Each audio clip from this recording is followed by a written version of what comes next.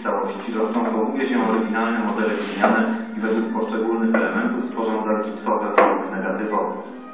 Formy te układana jest następnie ściskana masa porcelanowa.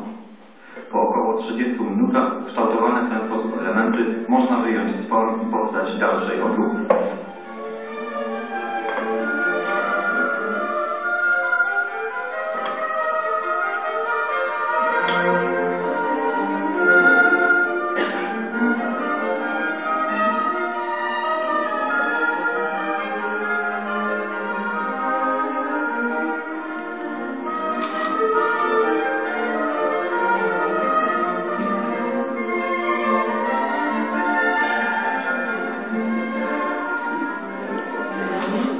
Jak przebiega składanie figurki pojedynczych fragmentów, zobaczą Państwo w następnym pomieszczeniu. Sehr.